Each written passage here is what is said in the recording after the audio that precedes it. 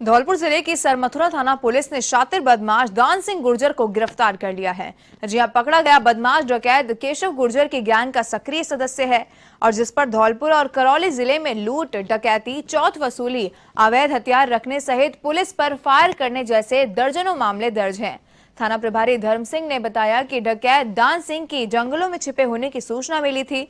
और जिस सूचना पर थाना प्रभारी के नेतृत्व में बदमाश को घेराबंदी कर गिरफ़्तार किया गया।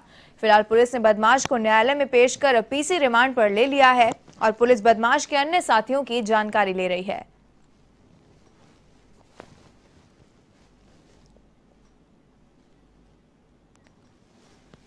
आपको बता दें कि बदमाश डकैत केशव गुर्जर की गैंग का ये सदस्य बताया जा रहा है, जिसको पुलिस ने गिरफ़्तार कर लिया है और लूट डकैती जैसे कई मामले, दर्जनों मामले इस पर दर्ज हैं और आखिरकार पुलिस ने इसको गिरफ़्तार कर लिया है।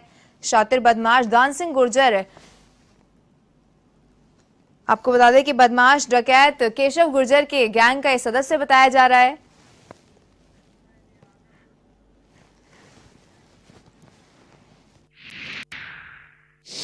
कस्बा सरमथुरा में पत्थर गैंग सा यूनिटों से चौथ वसूली करने वाले डकैत केशव गुजर गैंग का सदस्य दान सिंह गुजर को गिरफ़्तार किया गया है, जिस पर कस्बा सरमथुरा एवं अन्य जगहों पर चौथ वसूली करने और मजदूरों पर मारपीट करने का आरोप है। दान सिंह गुजर पूर्व में भी इस तरह की घटनाओं में वांछित रहा है। उसके खिलाफ जिला धौलपुर एवं जिला करौली में करीब आठ प्रकरण, लूट, डकैती, चोरी एवं चौथ